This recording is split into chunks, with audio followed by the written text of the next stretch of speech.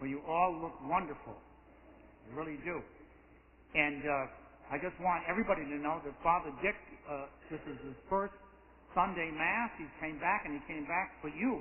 He came back for the First Communion class, so we're delighted. Um, yeah.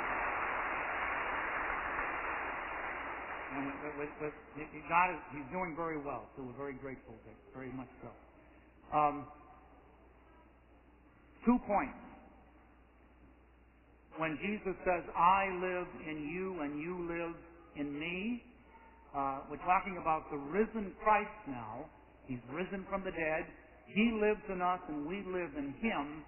And that took place for each one of you when you were baptized. There's another name for it. It's called being christened. Can you hear the word Christ right in that? To be christened. It means you become part of the risen Christ. We're christened. He lives in you and you live in Him. And as long as you stay united, wonderful things will happen. He'll be working in your life and through you. So that was the day that your parents and grandparents and families brought you to church and you were baptized into God, into the Father, Son, and Spirit. I, I want to tell you my favorite First Communion story, only because uh, I hope you'll remember it. And Jesus always told stories, and people would remember the story. But it's a true story. It's a true story. This was back around 1900. This goes back over a hundred years ago, and there was a poor family in Eastern Europe, and they wanted to come to America. They wanted to come to the United States because they looked forward to a better life here. And it was very difficult for them to leave their village and all their relatives and friends. But the day they were leaving, uh, the villagers got together and, and had a little party for them and wanted to give them some food for their journey across the Atlantic Ocean. They had to go in a big boat. And all they had to give them was bread and cheese. Cheese made right there in the village. Cheese and bread. So they gave them as much cheese and bread as they could carry. And they eventually got into the big ship.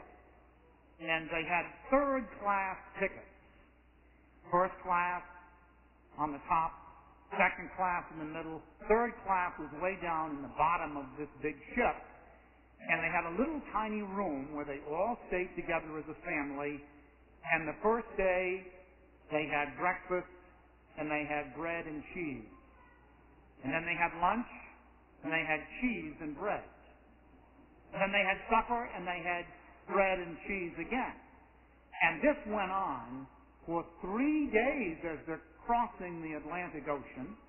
And uh, one of the children, the young boy, about your age, he couldn't take it anymore. He just couldn't take sitting in this little room, eating bread and cheese, looking out a porthole. And so he, he snuck out. He snuck out and went to the top of the ship. And uh, when his family realized that he was missing, they were all upset and they went searching for him. And they looked everywhere. And finally, his father and mother found him in this big dining room. And he was seated at the table, and there was all this food and drink and dessert. Uh, and he was sitting there eating all he wanted. And the parents came in and they said, Son, don't you know we can't afford this? We, we can't afford to have you eat like this. We're third class. And the little fella said to his mom and dad, he said, I found out. Do you have a ticket? They said, yeah, we got a ticket for the boat. I found out that all this food, three times a day, is included in your ticket. right? They didn't know. They didn't know that they had a right to come up from down below three times a day and have breakfast, lunch, and dinner, and it was all included in their ticket. Well, you, First Communicants, have a right to come to this altar. You have a right to come to this altar to receive the risen Christ in Holy Communion. Every time you come to church, you have a right to come to the altar and be fed by the life of the risen Christ flowing into you. And it's all included in your ticket. And you know what your ticket is? Your ticket is your baptism. The fact that your family loved you and brought you for baptism. And so I'm going to ask you, before the day's over, will you go to your parents and grandparents and family and thank them for having you baptized? Thank them for that. That's why. Because of them, you have a right to come to the altar. And we hope you do. Your, your turn will come soon. I, I, I baptized her. Your, your turn will come. It will come soon. Really will. Uh, so come, come to the altar every time you come to church and let God love you. Let God nourish you. Thank you. Oh. My gosh, I, I, that doesn't usually happen very often. now I'm going to